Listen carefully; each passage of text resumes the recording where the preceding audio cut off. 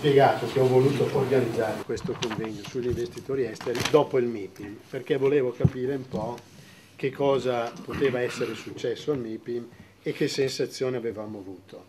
Io ho avuto l'opportunità di vivere il MIPIM all'interno del tuo stand con, con, la mia televisione e ho visto un gran movimento eh, di investitori, di gente.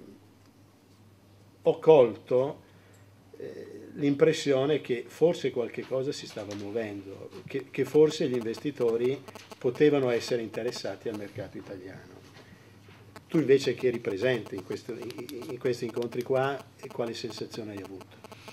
Ma intanto non era il mio stand, ma era lo stand di Prelios di cui in questo momento sono senior advisor. Mm, sì, eh, in effetti sono rimasto sorpreso anch'io, nel senso che cercavo di capire come mai abbiamo, pur avendo mandato delle mail di invito personali venerdì pomeriggio, quindi a quattro giorni al meeting, abbiamo avuto 82 persone, tutte di elevato se non elevatissimo standing.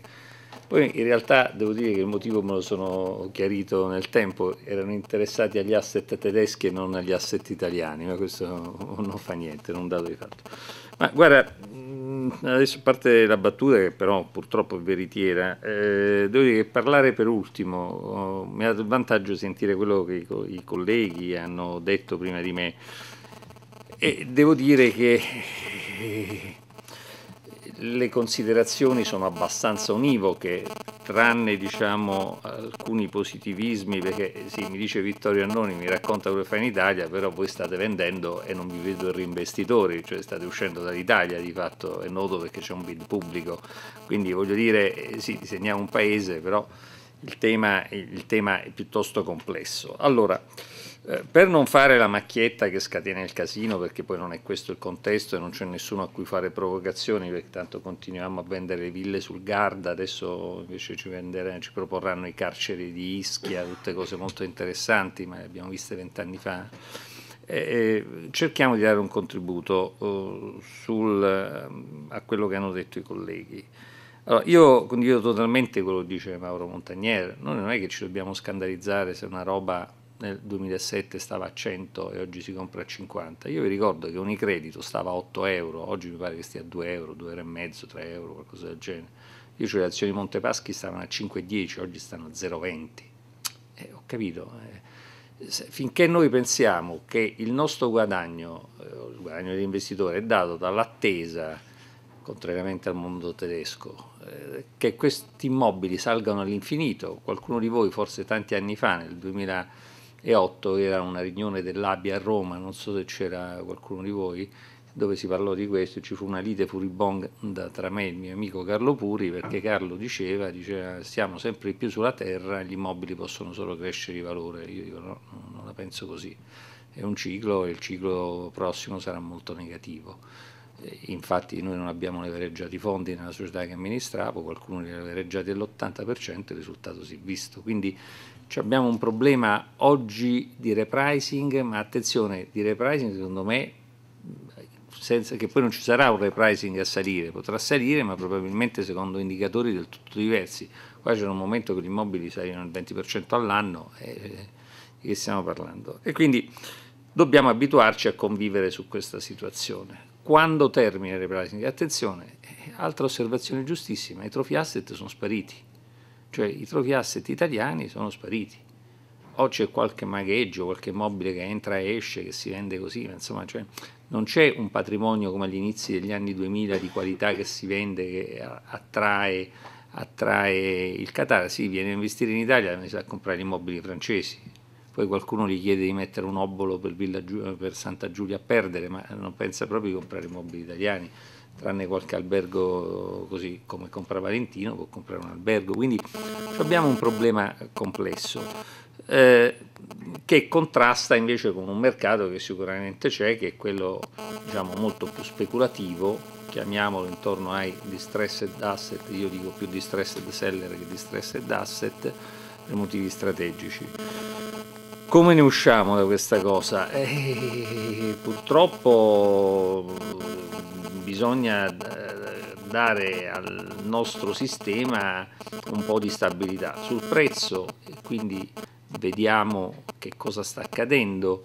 Eh, oggettivamente la roba che stava a 5.000 euro a uffici a 5.000 euro a metro quadro oggi a 2.500 te li vendono non, che, non ci scandalizziamo, lui ha ragione oggi gli stessi uffici li vendono a 2.500 noi siamo pieni di mail di soggetti vari che tentano in qualche modo di, uh, di arrivare a fare una transazione.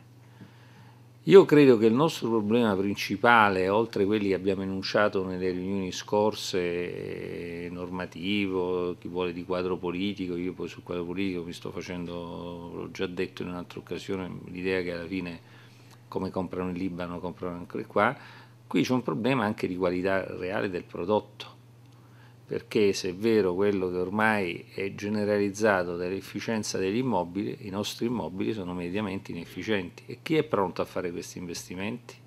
Non lo so, io non so chi è pronto oggi, ho già citato il caso, sono sul mercato gli immobili che lascerà Unicredito, cercano dei tenant, chi se ne affitta gli immobili oggi?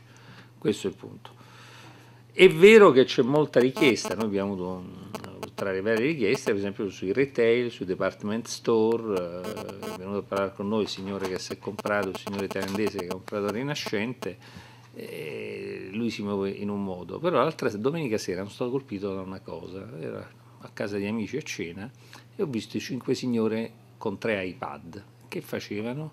Si compravano i vestiti. Io sono stato a guardare, perché sa, finché compra mia figlia si va a comprare le scarpe su, come si chiama, quella roba là, ce ne sono tante di siti. E mia figlia ne usano un altro, non so quale adesso me lo ricordo.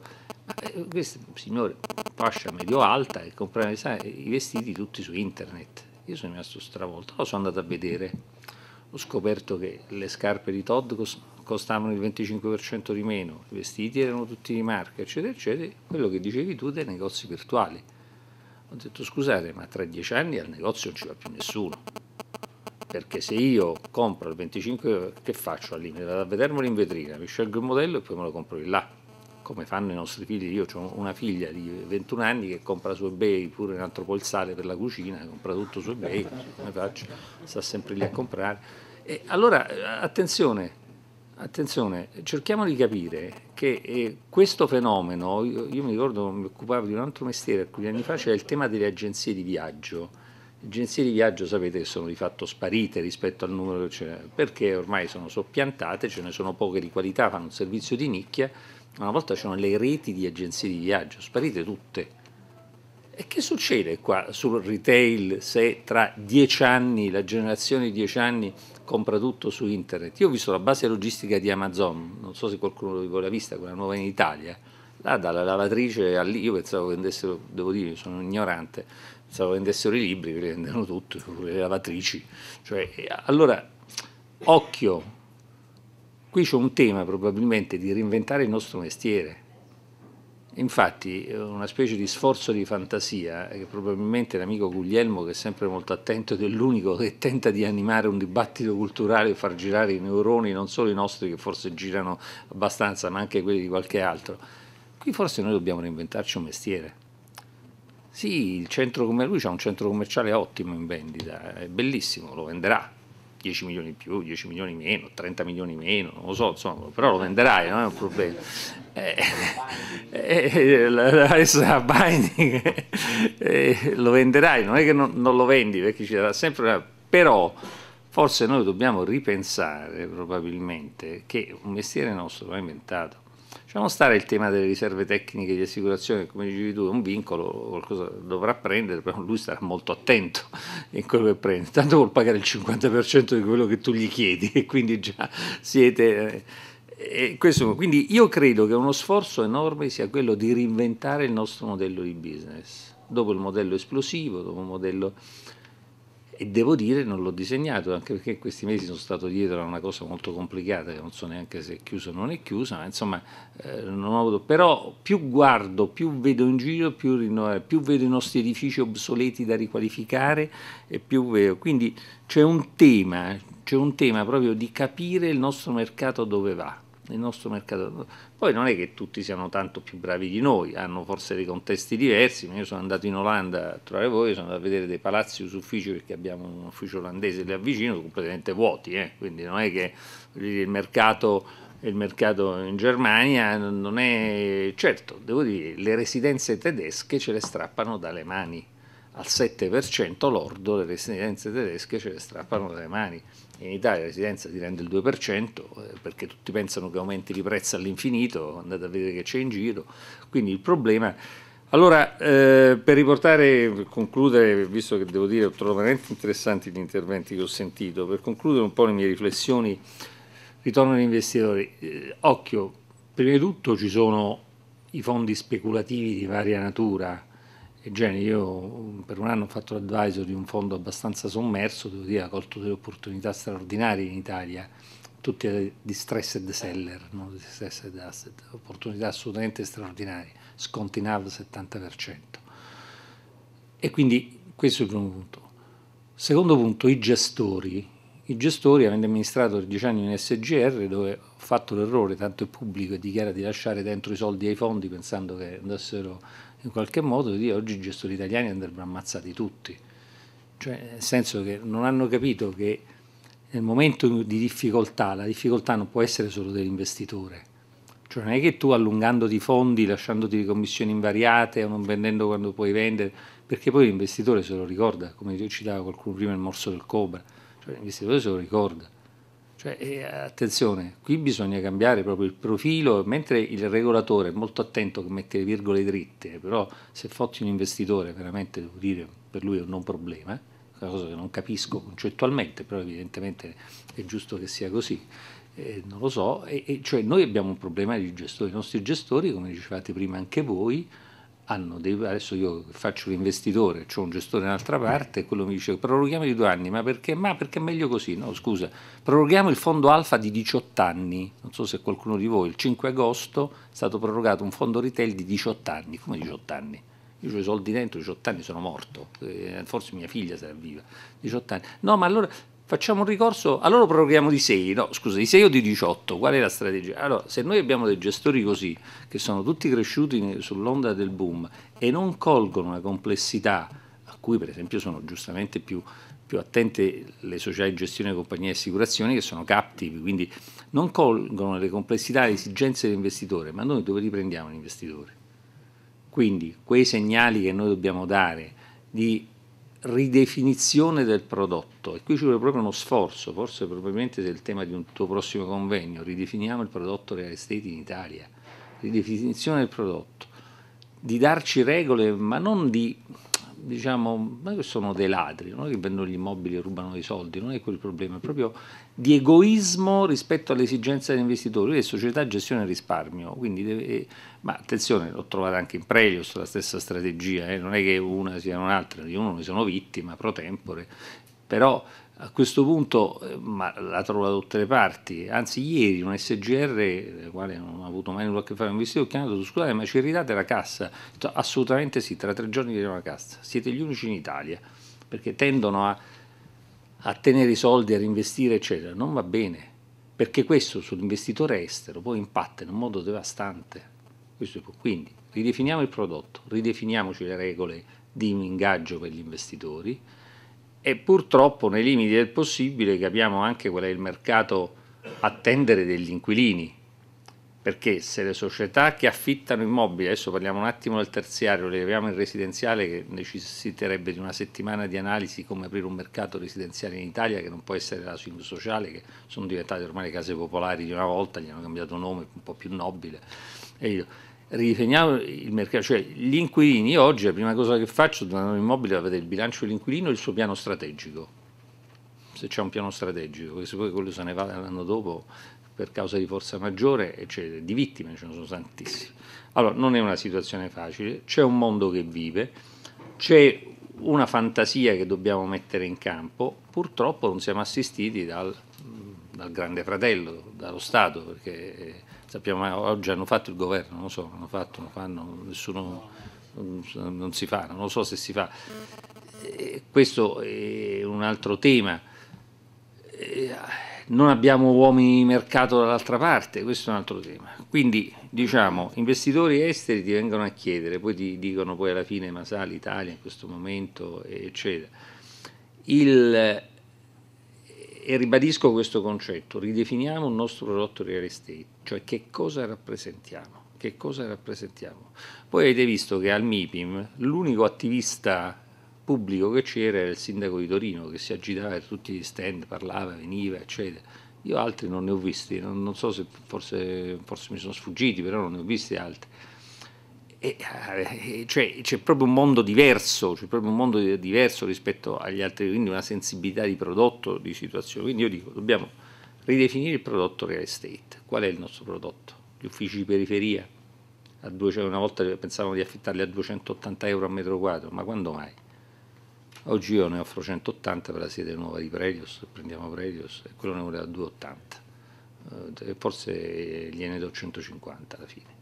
È, no, no, ma è, ho capito, è come dice, se gli sta fermo 5 anni l'immobile va in malora, ha perso 5 anni di affitto, cioè, io dico che eh, gli immobili sono come le barche, no? se tu lasci la barca abbandonata dentro un porto dice non mi costa, eh, no, non ti costa? Quella è l'immobile ormai deprime con la velocità del fulmine, quindi ridefiniamo il prodotto, capiamo che ormai qualcuno il bagno lo ha preso, capiamo, saranno i fondi, saranno... Eh, andiamo sui, regola- sui, gestori a essere più committed, perché se io perdo il 50% del NAV, non puoi pensare che prendi anche il 2% di commissioni, cioè, c'è qualcosa che non funziona, capito? Cioè, e probabilmente con queste attenzioni, con queste attenzioni riusciamo a, res- a, ristabilire, a ristabilire un minimo di mercato, perché tutti quanti rilevate, rilevate una situazione, poi ho concluso, io ho due indicatori dell'economia del paese, i tassisti e i notai Dice, ma sono, ieri parlavo con un tassista. Allora, i tassisti romani fanno, facevano tre anni fa media 280 km al giorno, adesso ne fanno 110. I tassisti milanesi facevano il 30% di meno perché Milano è più corta.